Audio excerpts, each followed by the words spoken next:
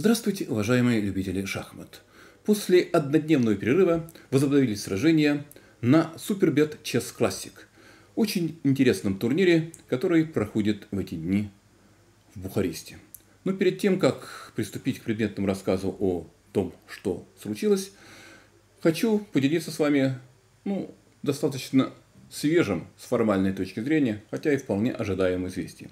То есть был официально объявлен состав турнира претендентов, который состоится в Мадриде этим летом, ну, примерно через месяц.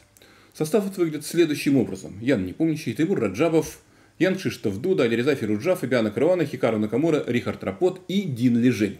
Иными словами, было официально подтверждено, что вместо дисквалифицированного Сергея Корякина в турнир вступает именно Дин Лежень, как шахматист, обладающий наивысшим рейтингом среди всех тех, кто не отобрался по другим линиям.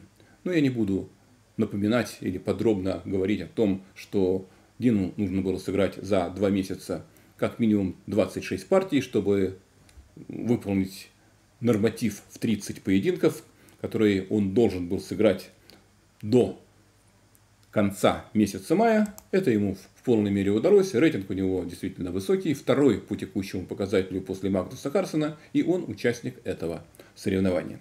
Ну а что касается Супербет Час Классик, то после пятого тура лидировал, напомню, единолично лидировал Весли Соу, который опережал на пол очка Левона Родяна, Максима Вашьярограва и Богдана Дяка, 20-летнего хозяина поля, румынского гроссмейстера, который ну, явился на мой взгляд, не только, не только на мой взгляд, главной сенсацией первой части турнира. То есть он на равных вел борьбу с самыми-самыми, а все остальные, кроме Дяка, это действительно шахматисты экстра-класса, входящие в мировую элиту. И он, Богдан Дяк, делил места со второго по четвертое на рубеже плюс один, отставая от ССО всего лишь на пол очка. И вот в шестом туре, в очередном шестом туре, между собой встречались, то есть играли Уэсли Соу с Рихардом Рапотом, Максим Вашхирограф с Лимоном Вороняном, Фабиана Каруана с Яном Непомнящим, Линьер Домингес с Богданом Дяком и Шахрияр Мамедьяров с Элиризой Фируджой. Ну вот я думал, какие из этих партий показать. По ходу тура было не совсем понятно, что можно считать самым интересным, самым драматическим и так далее. Но в конце концов все-таки сформировалась определенная картина. И, в общем, я начинаю с партии с участием Яна Непомнящего – а именно своего поединка против Фабиана Круана. То есть между собой встретились в таковом поединке два участника матчей на первенство мира против Магнуса Карсона двух предыдущих циклов. Ну, ни тому, ни другому не удалось обыграть Магнуса. Фабиана Каруана провел основную часть матча, как вы знаете, на равных. Счет там был 6-6 после 12 партий. Ну, а Ян, очень неплохо стартовав, затем вот развалился, не выдержав психологического напряжения и проиграл с крупным счетом с разницей в 4 очка. Тем не менее, чем закончится вот этот поединок на Супербет Час Классик, было, конечно же, изначально далеко не ясно. Фабиано Куруана сделал ход с Е2 на Е4, на что Ян ответил Е7, Е5, и стало уже понятно, что будет русская партия, поскольку и тот, и другой, ну в данном случае, конечно, речь идет о Яне, предпочитают этот дебют, если не играют, например, сицилианскую защиту, на перехват, но когда они встречаются с самыми-самыми опасными соперниками, ну, с Магнусом Карсоном или с кем-то из гроссмейстеров экстра-класса, то вероятность русской партии весьма велика, и в данном случае мы это увидели. На e5 берет Фабиана Круана, он уже так поступал, и после этого d4, d5, слон d3, конь c6. Вот любопытно, что я не помню, еще и варьирует методологию разыгрывания этого варианта черными. И в данном случае он решил, видимо, чтобы уйти от каких-то заготовок потенциальных, наметок, которые наверняка имел в виду Фабиана Харуана, выходя на этот поединок, он играет конь c6, рокировка и слон e7. Порядок именно такой. Конь c6 и слон e7. Ну вот я когда-то практиковал здесь ход слон g4 сразу. Так поступать можно. И на c4 в наглую конь f6, вообще не ставя никакие фигуры по линии, на линию e. Не скажу, что это очень хорошо. Это некий экстрим, но прибегая к подобного рода экстриму, вы имеете шанс, встречаясь с соперником не слишком глубоко проникшим в тайные позиции, ну, сыграть на перехват, поскольку у соперника возникает ощущение, что сопер... вы рискуете, неадекватно рискуете, что наверняка есть какое-то опровержение, но это дает вам дополнительные шансы. Скоро речь идет о человеческих шахматах. Но в данном случае слон Е7, спокойный ход. И еще раз напомню, я неоднократно об этом говорил, что в свое время главным и основным, так сказать, ходом считался ход ладья Е1, а также ход С4. Но ладья Е1, не, опять же, не буду повторять, какая идея Василия Смыслова привела к тому, что ход ладья Е1 вышел из моды, а основным ходом на протяжении долгих лет после этого оставался ход c4. Черные могут сыграть или конь f6, или вначале конь b4, ну, например, конь, конь f6, э, конь c3, там рокировка, взятие на d5. Но у белых давление чуточку лучше. Ну, не будем вдаваться, опять же, в подробности. Ну, к изумлению, или к удивлению, скажем так, помягче сформулирую, я думаю, и самого Яна Непомнящего, и многих любителей шахмат, наблюдавших за этой партией вживую, здесь Фабиана Курана играет конь bd2. Ну, чуточку лучше у белых в случае размена d2 может быть, хотя не думаю, что так уж много. Но Ян играет более, не знаю, жестко, принципиально, ответственно, рискованно, можно разные эпитеты использовать. Играет слон f5, и белые играют ферзь e2, на что следует конь d6. То есть, в общем, не идет здесь Ян не помнящий на размен вот такой вот взятие d2. Ну, смысл, видимо, для белых стоит в том, висит, висит на ладья на e1, поэтому нельзя брать на f5 здесь. Тогда конь бьет f1. То есть нужно играть слон бьет d2, размен, размен. И вот эта позиция все-таки у белых получше, хотя как-то не очень верится, что можно многого добиться. Вот с точки зрения классического взгляда на шахматы, на позицию. Единственное, можно сказать, что конь c6 стоит не очень-то хорошо после такого вот после такой разгрузки в центре. И это ахиллесова пята позиции черных, поскольку переводить этого коня через поле b8 куда-то, ну это уж слишком чересчур. А куда еще через e7 переводить? Там слон d6, конь e7, там конь g5 появится идея в случае хода слон d6. То есть, похоже, позиция коварная. И на нее не идет. Ян не помнящий, он решает разменять белопольных слонов, отступив конем на поле d6, следует удар-удар, ферзь d3. Белый осуществляет примерно те же самые маневры, но ощущение справедливое таково, что все-таки здесь для черных позиция более безопасная, чем в случае размена на d2 и последующего размена на d3. Короткая рокировка, конь c5, вот так вот играет здесь Фабиана Круана, ферзь c8, и здесь любопытный очень момент. Дело в том, что, конечно, нормальным продолжением со стороны белых, ну, наверное, был бы ход c3 или что-то в этом духе, позиция на самом деле равная. То есть черные, ну, пережив пару таких тревожных минут, все гармонично, все хорошо сделали, проблем нет. А можно ли взять на b7? Давайте вот зададимся таким вопросом. Можно ли взять на b7? К чему это приводит? У черных есть ход конь b4, который не выигрывает, конечно, партию, но ставит перед белыми уже проблемы, потому что белым, белых выручает только такой тактический маневр. Ферзь b, b3 и на взятие можно сыграть c23, даже не a3, наверное, а именно c23, фигуру отыграть, лучше у белых не будет. А если a3? Давайте прикинем чем отличаются эти два хода друг от дружки. Тогда есть ход ферзь А6, который связывает белую пешку А. Там позади ладья. И нельзя взять на d6 по причине... Нельзя взять, извиняюсь, на b4 из-за ферзь бьет А1. Можно, конечно, сыграть здесь вот так вот, g4, чтобы отогнать коня на d6, и тогда уже коня можно будет забрать ферзем. Но черные располагают возможностью конь h4, взятие, взятие. Теперь у белых после ферзь b4 лишняя пешка. Но сыграв ферзь e6, черные переходят в атаку. Даже не в контратаку, не в что-то такое, а в атаку на белого короля. И как ни парадоксально, в связи с этим, в связи с тем, что нормально защитить пешку, стоящую на g4 нельзя, у черных здесь преимущество. Ну, поэтому надо играть c3, что приводит к равенству. Это к вопросу о ходе конь бьет b7. А нормальный ход c3, наверное.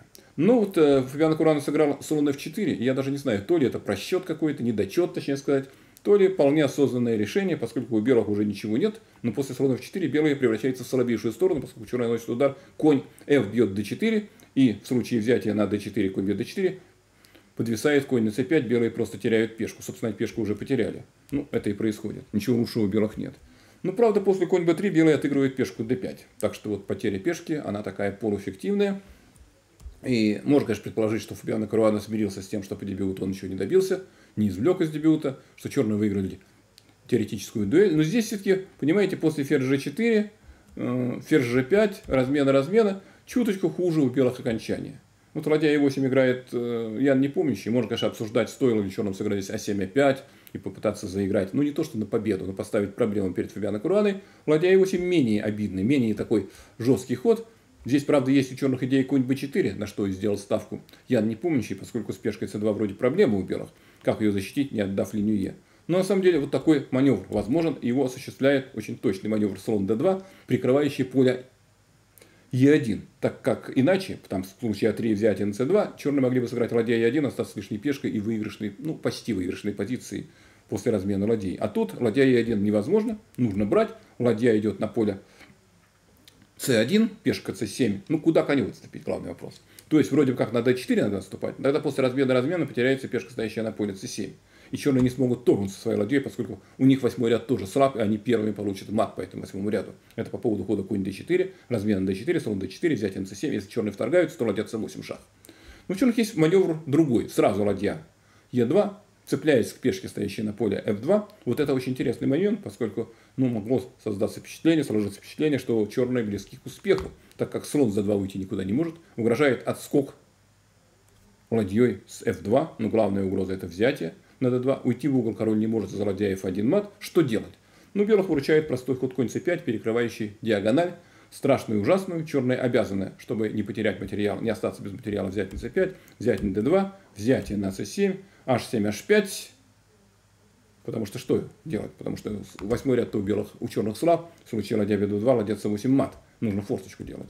Ладья b7, h4, а4. Ну, на самом деле, это уже преддверие неминуемой ничей, материальное равенство, король f7, b3, ладья b2, взятие, взятие, ладья b5, ладья идет на поле b4, черный защищает пешку h4 с помощью g5. Ну и дальше вот через несколько ходов началось повторение позиции, потому что никто выиграть здесь заведомо не может, позиция равная. Соперники согласились на ничью. То есть, по-своему, любопытный поединок, но все же ничего такого сверхдраматичного в нем не произошло. Ян Непомнящий уверенно выиграл дебютную дуэль в русской партии. С позиции силы даже слегка так сделал ничью. Но Фабиана Курана очередной раз немножко не получилось. Но он так словно бы нащупывает какие-то, пытается нащупать слабые места в репертуаре или в замыслах соперника. И в большинстве случаев это не удается Фабиане Куране, поэтому большинство партий заканчивает ничью. Ну а центральной в каком-то смысле партии этого тура – шестого тура оказался поединок между Максимом Ашхелограммом, одним из вице-лидеров, и Левоном Родяном, другим шахматистом, претендующим на высокое положение в турнирной таблице. Максим Вашьярограф играл белыми фигурами, и в силу хотя бы этого обстоятельства он, наверное, ну, мечтал или подумывал, надеялся сыграть на победу. Итак, d4. Вот так играет Максим Вашьярограф, что вообще довольно странно, потому что все-таки главный ход у него это e2, e4. Но вот в данном случае d4, затем c4 э, и конь c3, допуская ход слон b4. Хотя в защите Немцовича э, все-таки главным репертуарным оружием Левона Родяна является защита Рогозина. То есть я так как бы интерпретирую или утверждаю, намекаю, что защита Рогозина является ну, частным случаем защиты Немцовича, что, в общем, соответствует действительности. Другое дело, что защиту Рогозина можно получить при разном порядке ходов. Ну, действительно, d5 играет здесь Левон Родян так сказать, решил тряхнуть стариной, слон g5 и dc. Ну вот интересно, что немножко не своим, так сказать, нетрадиционным путем идет здесь Левон Иронян. Может быть, вот тем самым, пойдя на, этот, на эту систему, он сбил с подготовки и даже слегка смутил Максима Вашьярограва. Дело в том, что, ну, известный вариант – Е4, С5, слон бьет С4, взятие на d4, конь бьет d4, взятие на c3, взятие, взятие, и ферзь опять атакует пешку, стоящую на поле c3. Кроме того, подвисает здесь белый слон, стоящий на поле g5. Но белые обязаны идти по магистральному пути, то есть слон b5 шах, уводя слона из-под удара, конь d7 и взятие на f6. Ну, черные, разумеется, в промежутке берут c3, и главный ход за белых здесь король h1, и на взятие, скажем, можно h4 сыграть. И дальше начинается теоретическая дуэль какая-то, здесь много анализов имеется, Э, считается, что белых чуточку лучше, но при правильной аккуратной игре черные должны нейтрализовать давление соперника. Но вот по той или иной причине, неведомой нам, Максим Ашьярограф играет король Е2. Ход экзотический, ход на, первый взгляд и на второй тоже странный. Э, ну, есть ли у белых здесь что-то, могут ли они претендовать на преимущество? Скорее всего, все-таки ход не оптимальный, но интересный, уж точно интересный. У черных есть возможность сделать вместо хода GF промежуточный дать шах с b2. И это правильное решение, поскольку ферзь переходит на более удачную позицию. Белые играют ферзь d2 и предлагают перейти в окончание. Можно ли здесь было играть как-то по-другому? Ну, скажем, король e3. Вот ход король e3, по-видимому, если бы он был сделан, вынудил бы черных дать шах c3, побудил бы дать шах c3 на король e2, ферзь b2, предлагая сделать ничью, то есть пойдя на троекратное повторение позиции. А если gf? Ну, давайте прикинем, если gf. Ну, белые могли бы тогда сыграть ферзь c1, фактически вынудить тем самым размен ферзей на поле c1. И после этого, несмотря на отсутствие пешки, у белых лучше, поскольку, ну, чуточку лучше, поскольку они постоянно вторгаются в лагерь соперника, и избежать этого черного невозможно. У белых король, кстати, на e3 отличный сейчас. Ну, наверное, ничья, ничья делается после рокировки все-таки. Но белые здесь символически сильнейшая сторона. Это по поводу хода король e3, который, однако, позволял черным повторить позицию с помощью ферзь c3, король e2 и ферзь b2.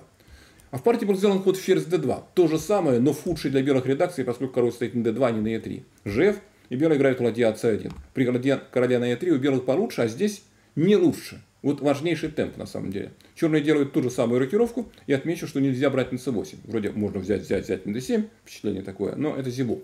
Или просто подставка фигуры после хода ладья d8. Две фигуры по линии d. Одна из них теряется, слон наступает и теряется конь на d4. Поэтому c8 брать нельзя, белые вторгаются, все логично. Черный отвечает ладья d8, и вот важнейшего темпа белым не хватает. Король e3, вот в том варианте, здесь бы был ход белых, и это очень важно. А тут ход черных, и поэтому после хода конь b6 у них у черных лучше. Они сильнейшая сторона, и не совсем понятно, честно говоря, на что рассчитывал Максим Вашхерограф, идя на все это развлечение.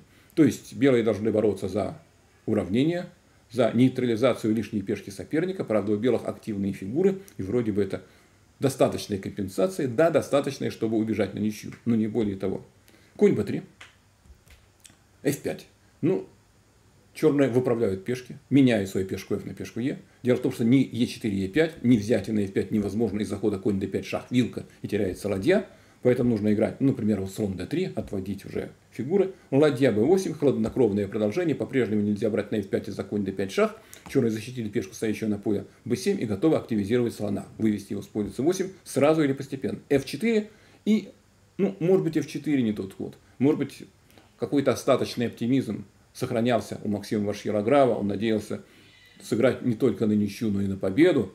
И это вот психологическая ошибка, как известно, не за то отец сына бил, что играл, а за то, что отыгрывался. И вот тут вот желание сыграть через «не могу» и худшую объективную позицию продолжать играть на победу, на преимущество, ну, погубило во многом Максима Вашкилограва, поскольку отличнейшая, великолепная реакция Левона Ароняна Е6 и Е5 приводит к тому, что черные захватывают инициативу уже самым жестким образом. По-прежнему на F5 брать нельзя, по причине конь D5, поэтому взятие на Е5, черные играют F5, F4, Пешка неуязвима, поскольку подвиснет слон на d3, его должен защищать король, король должен отступить, причем на d2, чтобы слон уже 4 шах не было, в случае король e2.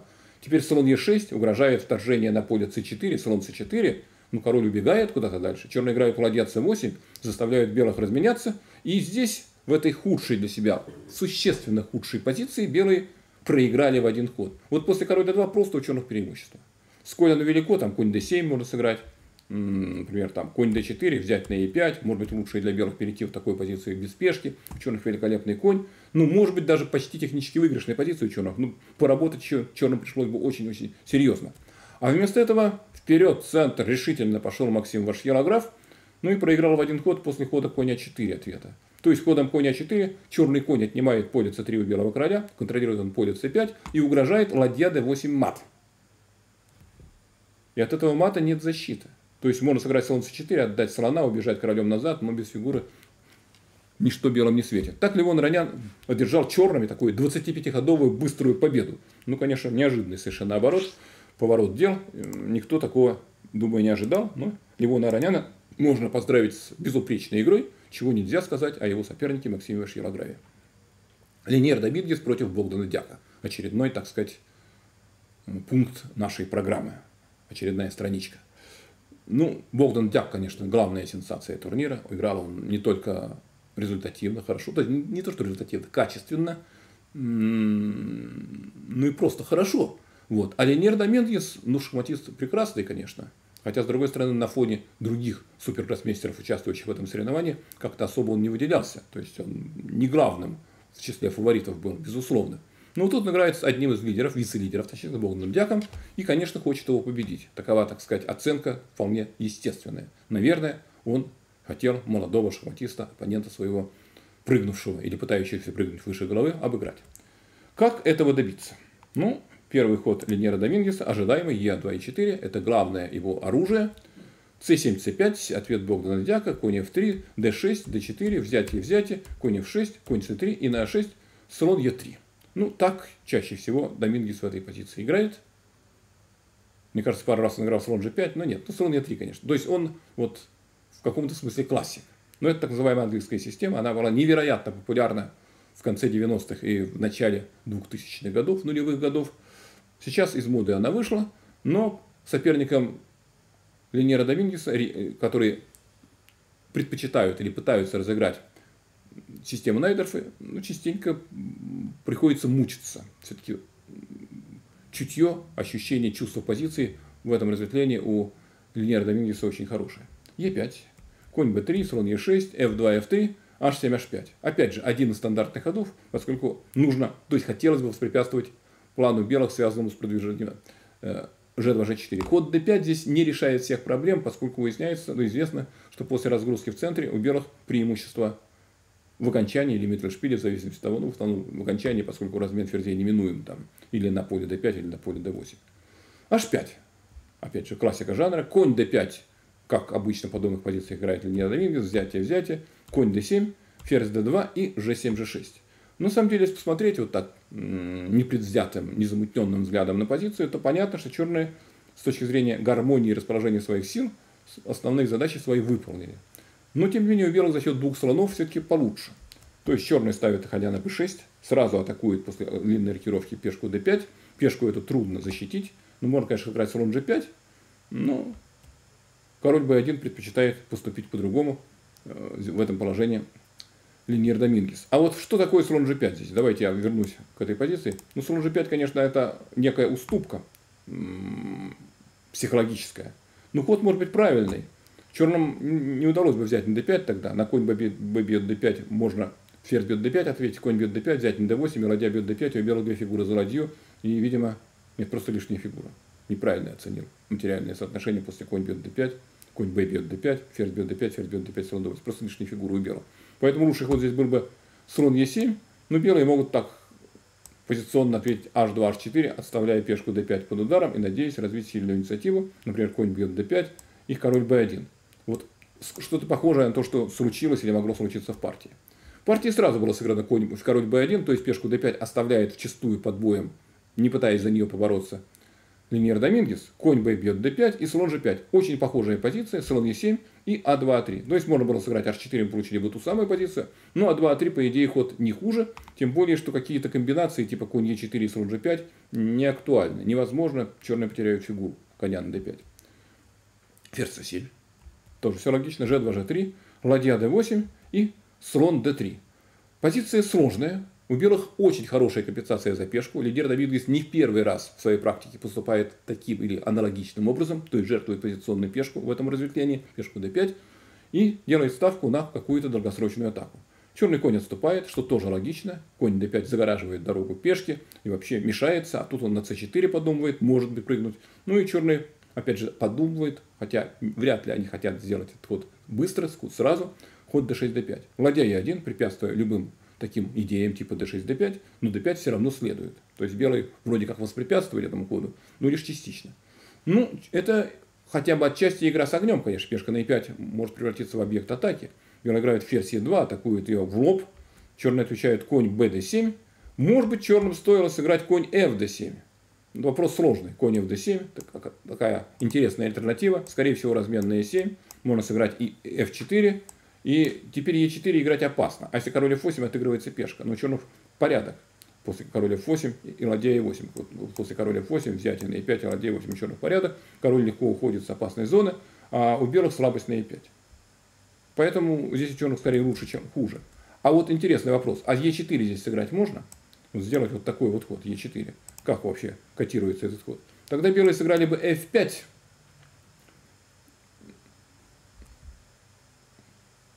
Или нет? Знаете, скорее всего, пожертвовать фигуру надо. Пожертвовать фигуру, то есть то, что лежит на поверхности. Взятие, взятие, король идет на e8, мы вторгаемся на e7, я с точки зрения белых рассуждаю, и затем играем конь c5, завязывая соперника по рукам и ногам на поле d7, бить ферзем невыгодно из-за взятия на d8, ну, есть ход конь c8 вот такой. Но это отдача материала и попытка убежать без спешки на ничью. Дело в том, что черным, черные не могут развязаться. Нет, хода король g7 из-за конь e6 шах, а на поле d7 может развернуться катастрофа. То есть вот такая идея у белых была, конечно. И может быть поэтому лучше было сыграть, то есть конь в d7, может быть поэтому не решился сыграть. По-другому надо сформулировать. Богдан Дяк сыграл конь b d7. Теперь c4. Ну, подрыв с другого края. Рокировка и взятие на d5, и у белых становится уже позиция лучше. То есть в пешку они отыграли, бить на d5 хочется, ну и нужно. Вот. В ответ белые играют слон h6, развивают инициативу, потом ладья c1, атакуют ферзь, ферзя отгоняют. Вот надо ли так было поступать? Очень странным решением, но, видимо, мудрым, являлся ход ферзь c2, предлагая ферзями поменяться, и угрожает еще слон биржа 6. Поэтому самое разумное для черных парировать эту угрозу и меняться не сразу. Тогда по центру белые разовьют давление, отыграют пешку, у них будет лучше. Сыграть король h7, вот скажем, отступление назад – и, как ни странно, несмотря на отсутствие пешки, у белых полная компенсация и, наверное, чуточку лучшая позиция. То есть угрожает слон биржи 6 и взятие на d5. Вот можно ли как-то это дело парировать? Ну, если отступить конем с поля d7, тогда после размена c7 потеряется пешка e5. Ладья бьет e5 после размена c7. Если конь df6, например. Если отступить конем с поля d5, без защиты останется ферзь. То есть вроде как надо брать самое естественное. Слон бьет c2. Ну и теперь что-то надо делать с конями. Ну вот можно ли, скажем, отступить конем пятым на f6? Ну и белые просто играют h3, потом g4. И оказывается такая странная штука, что, несмотря на отсутствие пешки, белые за счет активности своих фигур и невозможности для черных как-то эффективно перегруппироваться, стоят лучше. Белые, они черные. То есть там и g4 идея, и перевод коня через d2 куда-нибудь на c4 или на e4. То есть вот такая странная игра могла бы начаться после хода ферзь c2. Ну, более человеческий ход, конечно, ладья c1. Не меняем ферзей при отсутствии пешки. Играем на атаку, а ферзи необходимы при игре на атаку. Но ход не, неудачный, ладья c1, поскольку теперь, ну вот после h4 тем более, и хода b5, у черных становится лучшая игра. То есть вот э, пожертвовав пешку, белые свернули куда не надо, а ходом конь d2 просто дают черным заметное преимущество. Конь c5 играет черный, здоровый э, дяк. И вот в этот момент стало казаться, что, возможно, молодой румынский гроссмейстер выиграет партию, выйдет плюс 2, догонит Уэсли Соу и станет одним из лидеров турнира. У черных просто лучше. Конь, конь e4, взятие на e4, слон бьет e4, и ферзь e6. За пешку что-то у белых может и есть компенсация, но не полная, безусловно. Слон c2, и правильным ходом был конь b6. Конь хотел конь db6. Просто один конь остался, конь b6. У черных получше, хотя этим ходом они отдают пешку на e5. Ну вот после ферзь бьет e5. Черные меняются и вторгаются конем на c4 и развивают атаку, инициативу, не знаю. То есть их фигуры ценой отдачи пешки обрели полную гармонию. Белые, конечно, могут, чтобы не выпускать черного слона на поле f6, что для белых очень неприятно. Если ладья отступит слон f6 там, на b2 подвис, подвиснет пешка. Но можно отыграть, то есть пожертвовать качество, тут же его отыграть ходом слон g5 ну и, в общем, наверное, все-таки причалить к мирной гавани с позиции слабости, ну, скажем, отступления, размен на d8, размен на d8, и позиция у черных получше за счет сильного коня, ну, ослабленного фланга королевского, в смысле пешек, ну, скорее всего, это ничья. Слон e4 можно сыграть, спровоцировал соперника на конь d2, шах, конь бьет e4, ладейник ничейный, хотя у черных получше все-таки. Вот.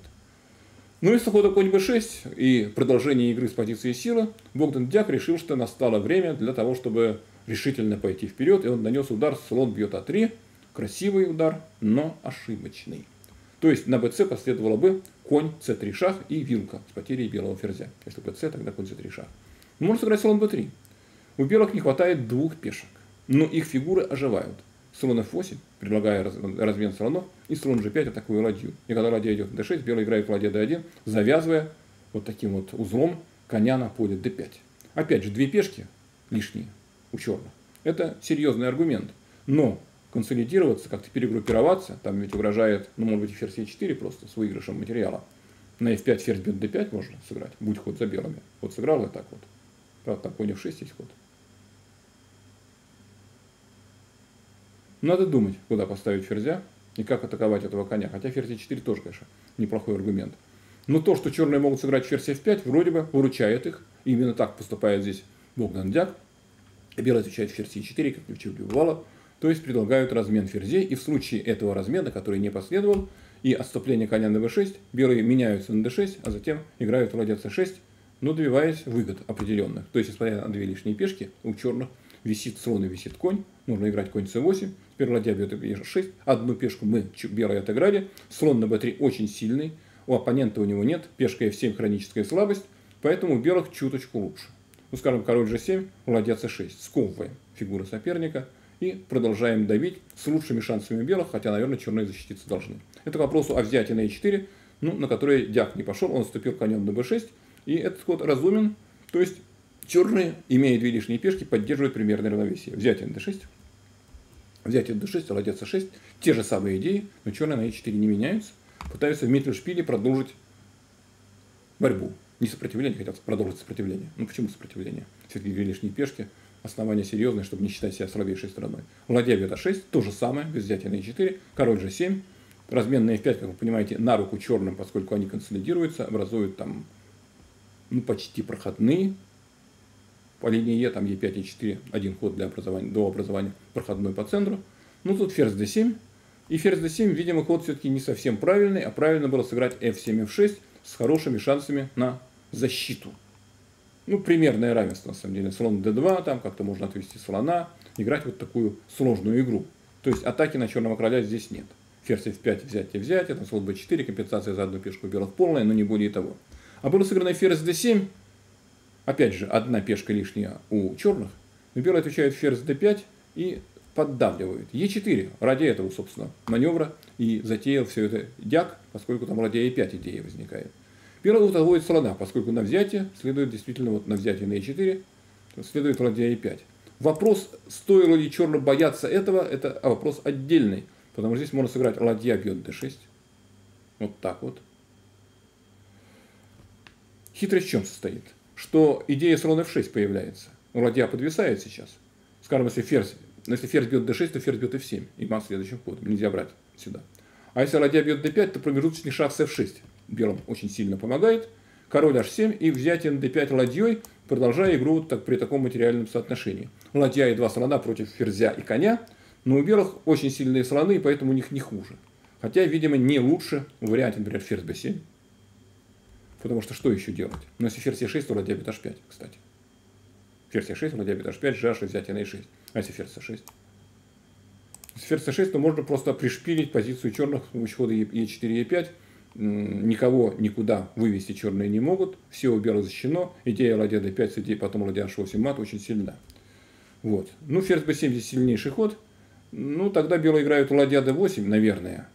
Потому что здесь e5 уже не столь сильно по причине конь Е7, ладья d8 и конь G8. При ферзе на b7 можно осуществить такой маневр, э, защититься, угроза взятия на f6.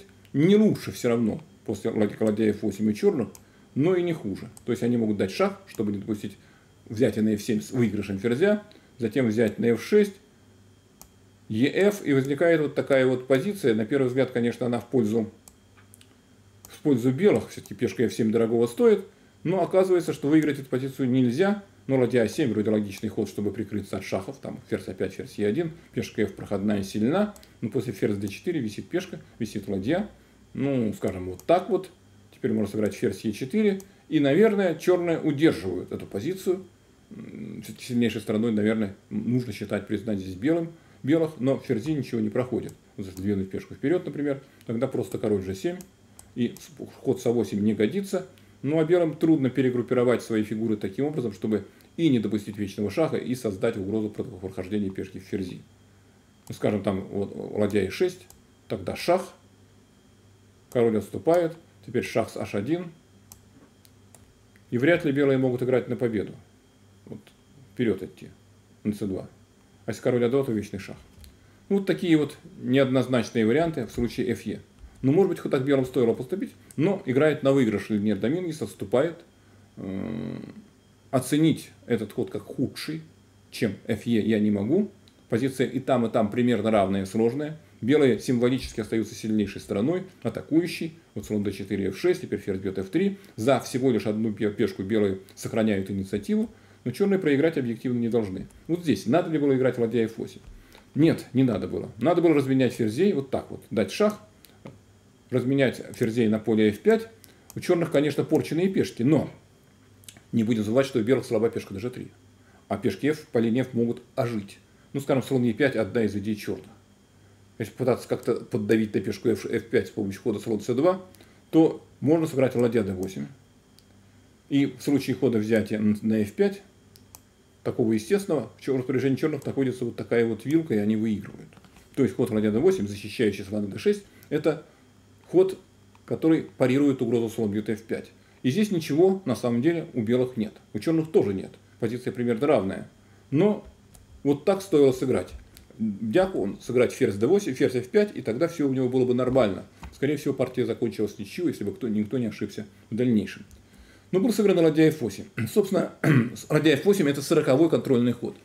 Здесь на турнире используется фидовский контроль. Полтора часа на 40 ходов.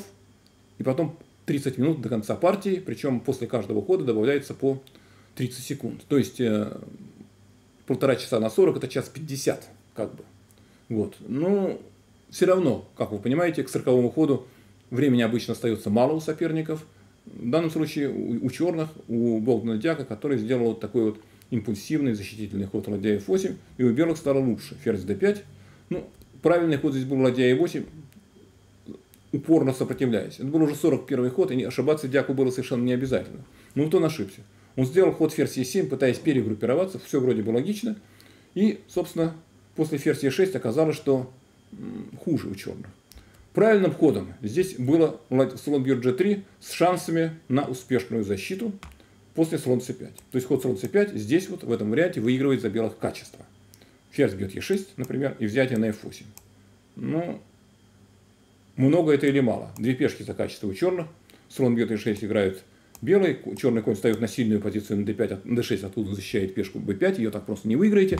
Две связанные проходные вот-вот образуются на фланге. И, в общем, наверное, черные объективно здесь стоят вполне приемлемо и, скорее всего, проиграть не должны.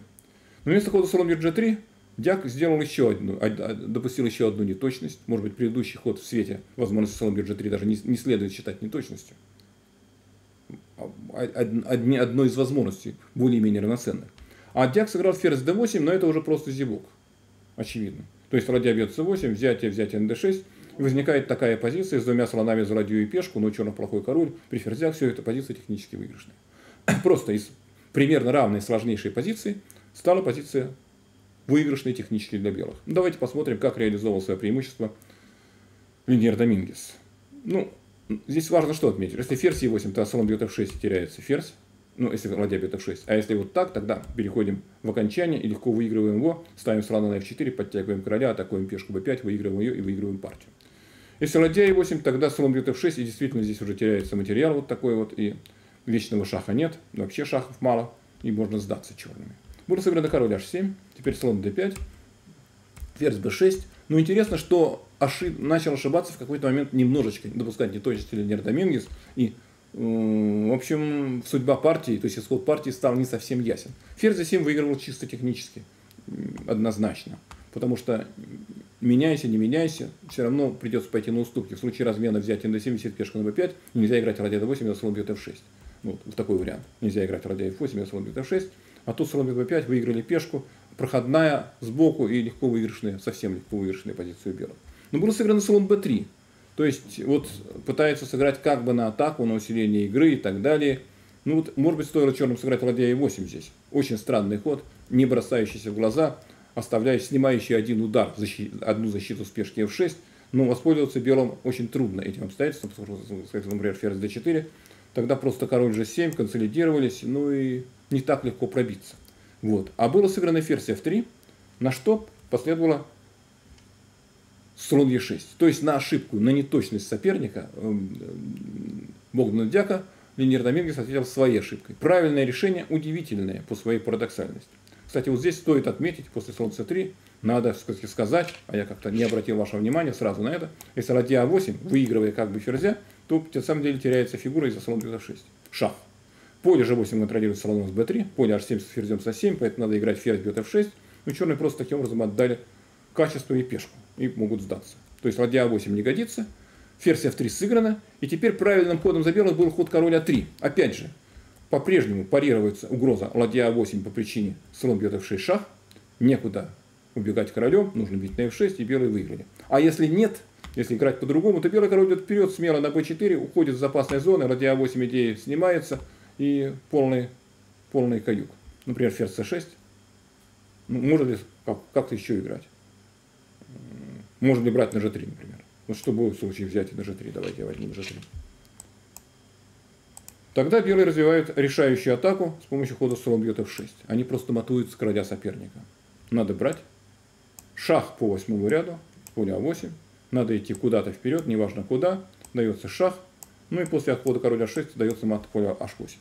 То есть вот такой тактический мотив позволял белым выиграть почти форсированно. В случае хода ферзь c6 следует ферзь d7 и усиление позиции, поскольку король белых может очень спокойно, смело выйти на поле b4, тогда любые размены ферзей абсолютно выигрышные для белых.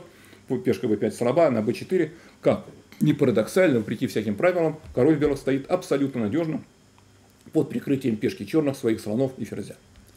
Но было сыграно слон e6. Это серьезный недочет со стороны Ленера Домингеса. И черные могли, сыграв ладья e8, видимо, сделать ничью или почти ничью. В чем здесь хитрость после ладья e8? Ну, если отступить на b3, то черные играют b4. Черные играют b4, и нельзя взять на b4 по причине ладья 8. Теперь уже нет удара на f6, слон b4, ладья 8. А если слон d4, тогда ферзь c6, черные консолидировались, белый король зажат, выйти никуда он не может, активность белых фигур незначительно. Ну, скажем, можно сыграть вот слон на 4, тогда шах, скажем, вернуться назад, ферзь c6, и может быть это вот ничья такая, объективно уже вытекающая из оценки позиции, как ни странно. Нельзя здесь сыграть, мы только что бегло посмотрели ход слон d3, нельзя здесь сыграть слон f7 по причине ладья a8, тоже вот тот самый мотив. Здесь можно, конечно, ударить на f6, но в данном случае поле h7 доступно для черного короля. Но если слон d5 шах, открытый шах, тогда ферзь бьет а7. Ферзь завязан, ферзь теряется, черных выигрышная позиция. вот. Ну и, наконец, сильнейший ход ферзь f7 здесь. Тогда ферзь а8 шах. Если король b3, то мат в один ход, на всякий случай. Вперед не надо идти. Ну а если назад, тогда ферзь e4, король c1. Бить нельзя на e6 из-за слон бьет f6. Но можно дать шах. И это вечный шах белому королю, и получается ничья. То есть вот имел возможность ходом ладья e8 спасти Богдан Дяк, эту очень тяжело складывающуюся для него партию, где он зевнул, до этого имел хорошую позицию, потом зевнул, и позиция стала плохой. Но дал Линер Домингес шанс сопернику. А вместо этого Дяк сыграл b4, пытаясь сбить слона с сильной позиции на c3, но бить-то невыгодно не по причине там ферзь e4, да, не ферзь e4 шах, ладья a8, конечно, слон b4, ладья a8. Да. Вот. Слон d4, теперь же ладья 8 не идет за взятие на f6, но зато ладья d8. Вроде все у черных хорошо, а на самом деле не очень-то хорошо. То есть даже, можно сказать, плохо. У белых снова решающее преимущество. Ладья f8. Переход b3, видимо, фиксировал решающее преимущество белых. На ферзь g2, разумеется, не, не надо играть слон b2 по причине ладья a8. Слон теперь завязан белых. На b2 нельзя играть слон бьет f6, и белые потеряли ферзя. Но можно сыграть король a1 и шахи кончаются. Белые перегруппировываются таким образом, потом освобождают ферзя. Ладья должна прикрывать своего короля, скажем, ферзь e4, там ферзь v6 как-то. И постепенно-постепенно белые ну, не нагнетают давление, а перестраиваются и выигрывают партию. А было сыграно слон e6, собственно, это не выпускает перевес, уменьшает его. Хотя у черных здесь есть шансы, появились шансы на спасение – ладья f8, ну это не самое точное решение, ферзь e7, и все-таки вот удалось белым перегруппироваться. Правда, есть ход ладья a8, на b3 теперь не сыграете никуда, ферзь f3 мешает этому делу, а отступление на b1 приводит к мату с поля d1 в один ход. Но белых есть ход слона 7. То есть э, атаковать этого слона все равно не получается никак эффективно. Ну, скажем, ферзь f2 что такое? Ферзь c6 был сыгран, если ферзь f2, попытка выиграть слона. Ну, есть ход простой, ферзь e8 ну как простой, отвлечение, ладья бьет f8, слон бьет f2, и возникает вот такое окончание, выигрышное для белых объективно. Почему? Потому что пешка b4 теперь очень легко выигрывается белым королем. Король идет вперед, выигрывает сам или с помощью чернопольного слона f2 эту пешку, а полакомиться белыми пешками на, ферзе, на королевском фланге черные не в состоянии. Не получается просто. Ну, ферзь c6 сыграл здесь дяк, последовал король b3, ладья c8, ферзь e6, размен, вынуждается размен, и это совсем просто выигранная позиция, в общем, какие-то ходы еще делались. Можно и король c4 сыграть, а потом гнать пешку b. Ну, чище по-человече. Слон b8, чтобы не отдавать ничего. Сколько главный козырь белых пешка по линии b осталось. Король идет на c4. Теперь слон d5. Ну и последний ход партии был слон f4, после чего полную бесперспективное дальнейшее сопротивление осознал Богдан Дяк. Пешка b идет вперед. Ну, можно, конечно, сыграть ладья c8. Дяк сдался. Ну, скажем, вот так сыграть, что было. Просто король d4, ведь хода ладья b8 нет. Слон с f4 контролирует это поле, а пешка b все равно идет вперед, и партия заканчивается. Ну что ж, на, на сегодня я сегодня вам больше ничего не покажу. Подведу итоги. Э, шестого тура с результатами. Результаты вот такие. Обе результативные партии я вам продемонстрировал. Как Левон Ранян в контратаке черным выиграл у Максима Вашьерограва, грубо ошибшегося, ошибившегося. А Линер Домингес в упорнейшей борьбе обыграл одного из вице-лидеров Богдана Дяка. Фабиана Курана сыграл ничью с Яном Непомнящим. Что касается двух других партий, то в них не было ничего, то есть не так. У Уэсли Соу с Рихардом Рапотом действительно было немного интересного. Она закончилась ничью без особых приключений. А Шахриар Мамедьяров – долгое время давил на позицию Эльризы Феруджи. Я решил эту партию не показывать, чтобы не затягивать программу. Все-таки все закончилось миром, без кровопролития. Ну и в результате что получилось? В результате турнирное положение стало выглядеть следующим образом. Левон Ранян догнал в ССО. У них у обоих по плюс 2, по 4 из 6. На рубеже 50% скопилось сразу пятеро гроссмейстеров. Богдан Дяк, Ян Непомощев, Фабиана Круана, Максим Вашьерограф и Линер Домингес – что касается, так сказать, нижней части турнирной таблицы, аутсайдеров, то в их числе два участника турнира претендентов, Рихард Рапут и Эльза Феружа, ну а кроме того, замыкающий турнирную таблицу Шахриар Мамедьяров, что, конечно, является хотя бы отчасти очень такой серьезной сенсацией. На этом у меня все. Перед тем, как проститься, я по традиции призываю вас ставить лайки, Подписываться на наш канал те, кто не сделал этого ранее, ну и, разумеется, обыгрывать, обыгрывать своих соперников, коль скоро вы играете с ними в шахматы, очно или заочно в сети интернет. А пока до свидания.